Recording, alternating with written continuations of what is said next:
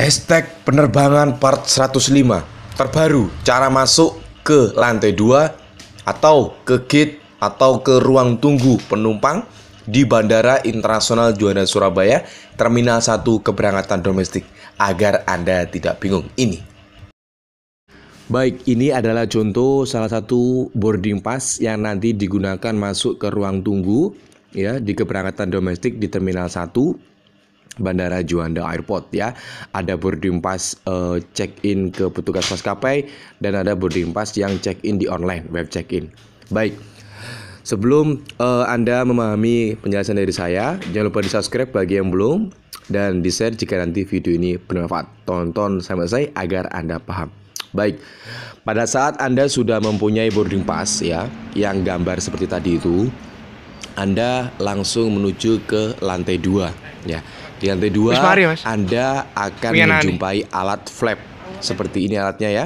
Jadi ini adalah namanya flap untuk masuk ke dalam pemeriksaan X-ray habis itu langsung masuk ke tempat ruang tunggu sesuai boarding pass Anda. Caranya masuk ke pintu flap ini adalah pada saat Anda sudah punya boarding pass ya. Jadi pintu flap ini bisa digunakan kalau tiket Anda sudah check-in dan dapat boarding pass boarding pass itu yang digunakan untuk uh, membuka pintu flap ini ya.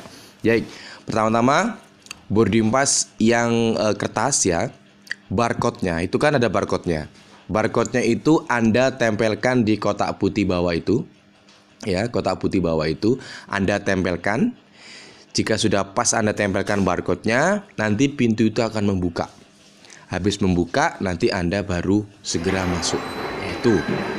Terus juga tempat posisi Anda tidak boleh maju ya, tidak boleh agak maju ya karena ada sensornya. Harus di belakangnya alat flap itu Anda tinggal tapping boarding pass Anda itu barcode-nya ke kotak putih bawah ya, bukan yang atas kotak putih bawah itu.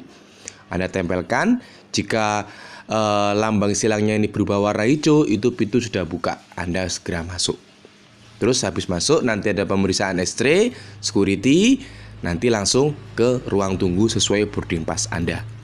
Ya, jadi alat flap ini boarding pass pada saat keberangkatan saat itu juga dan bandaranya dari Bandara Juanda Surabaya. Baru bisa buka pintu ini.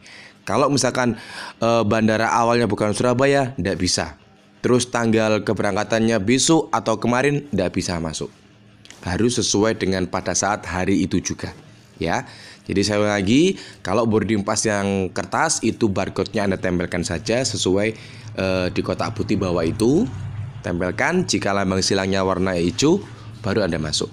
Kalau web check-in online, sama, barcode-nya juga ditempelkan, dibesarkan, dipaskan, ditempelkan. Selesai. Itu ya.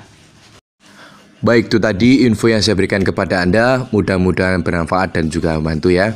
Ingat, kalau Anda berangkat di Juanda Terminal 1 domestik, itu jaraknya jauh-jauh, ya pastikan Anda datang lebih awal. Kalau nggak tahu, tanya ke petugas ya.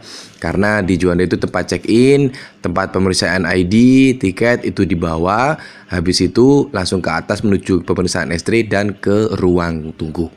Ya, semoga membantu dan sampai jumpa di video saya berikutnya.